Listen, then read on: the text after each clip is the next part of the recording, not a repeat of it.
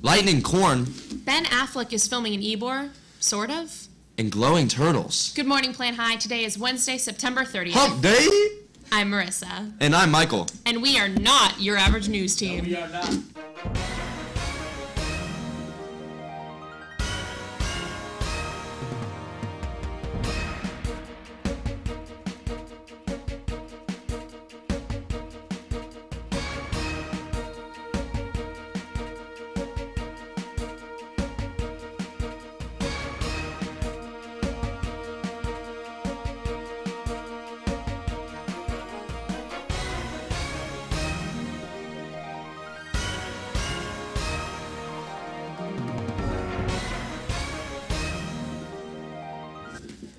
Soon you'll be able to get lost in a sea of corn cut into the shape of the Tampa Bay Lightning logo. Harvest Moon Farm was inspired by the team's recent run for the Stanley Cup final when it designed the lightning themed five acre corn maze. The maze will open to the public on October 3rd with the Lightning mascot Thunderbug in attendance. That's amazing, if you know what I mean. Oh, I know what you mean.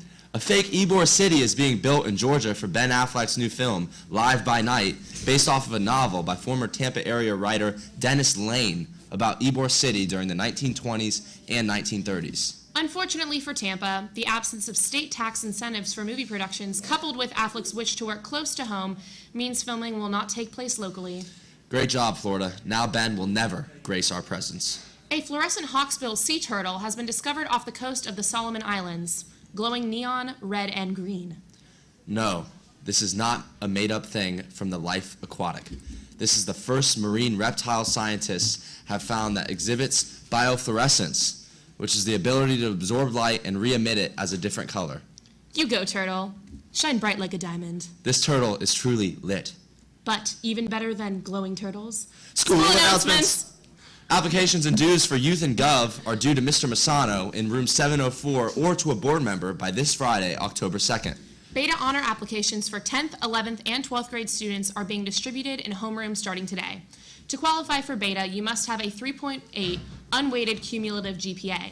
If you do not receive an application and you think you may qualify, stop by the guidance office. Any transfer students who are inducted into Beta Club at another high school may transfer their membership to Plant. Literary Club applications are available in Miss Smith's room, 234, and are due back tomorrow, October 1st. Attention all Sertoma members, this is the last week to pay your yearly dues of $20. Please do so as soon as possible by seeing Mr. Landers in the guidance office. The PTSA is kicking off its Reflections Arts program. Reflections is an, is an art competition open to all students, with judging at the local, state, and national level. This year's theme is Let Your Imagination Fly. Enter an original work of art in any of these categories visual arts, photography, music composition, literature, video, and dance choreography. Complete rules can be found on the PTSA website, florida.org slash program slash reflections, and entries will be due October 20th. Now let's check out Quincy's video report on plant students and their lunchtime.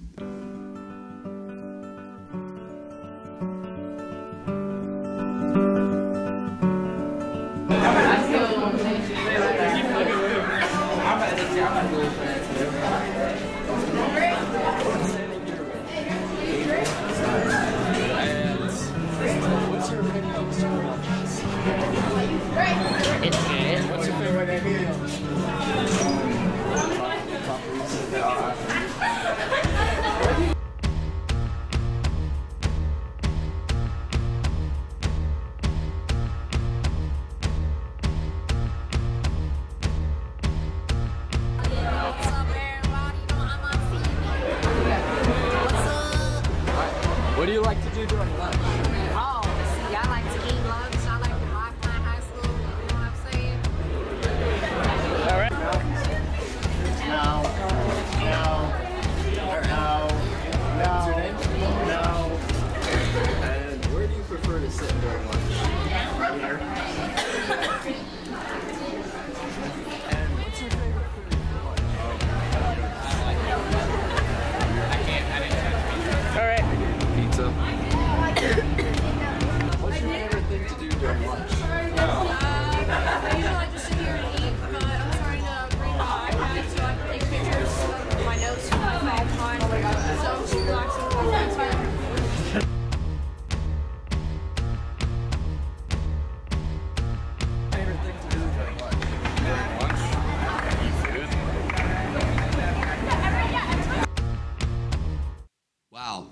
That really made me hungry for lunch. Too bad I just had breakfast.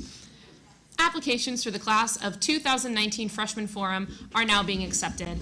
The forum will consist of one student representative from each of the 20 freshman homerooms and will be led by the freshman class officers. For more information and an application, see Ms. Kreigel in room 610. Applications must be submitted by 3:15 this Friday, October 2nd. They will not be accepted after the deadline. Tomorrow, the Media Center will be closed for Unity Day. However, the Media Center will come to you all day on Channel 5. Tune into nonstop TED Talks. If you haven't heard of what TED is, go to www.ted.com to find out. Teachers look on Plant Internal for more information or see Mr. Penn in the Media Center. Attention thespians, a meeting will be held after school in the auditorium. Panther Prowl will be held next Wednesday, October 7th, and it is $5 for admission for performers and guests. The homecoming dance is next Saturday, October 10th. The tickets are $50 in advance and $60 at the door. Speaking of homecoming, Spirit Week starts next Monday. Monday's theme is Marvel Day. Tuesday is Team Spirit Day. Wednesday is Out of This World Day. Thursday is Tie Dye Day. And Friday is Black and Gold Day. See posters in the hallways for more details. The morning show wants to give an apology for missing an important milestone for the boy and girls swim teams. Both teams traveled to South Florida this past weekend for the FSPA Invitational. Both teams gave us a fantastic performance, and the girls team especially dominated the win and won the whole thing. Morgan Tankersley broke yet another school record, this time in the 200 free. The championship girls included Morgan, Abby Kynes, Sarah Rossi, Caroline Rossi, Kat Sterlacci, Sydney Whitfield, Jillian Schulte, and Abby Shapiro. Great job, girls. In other plant sports, the golf team battles Tampa Prep today. Good luck, boys. Every Wednesday, we in TV like to issue a little challenge to our plant students. Tweet or email us a pic or video of you or your friends completing the challenge at, T, at PHSTVProd or planthightvprod at gmail.com with the hashtag TV Challenge. The best responses will be played the following week during the show. Are you up for the challenge? This week, we want to see you dance it up with your favorite teacher. Upload a Vine or video of you shaking it with your teacher for a chance to win a gift card to PDQ. The winner will be announced next Wednesday. Last week, we asked you to take a selfie with your favorite AP. Sophomore Elijah Addison tweeted at PHS TV Prod an award winning selfie of him and Mr. Wade. Another great selfie came from our senior, Peter Kiefer, of him and the one and only Principal Rob Nelson. Congrats, guys, on winning last week's Wednesday challenge. Thanks to our awesome and dedicated viewers. That's all for today, Plant. I'm Michael. And I'm Marissa. Signing off. Have a good day.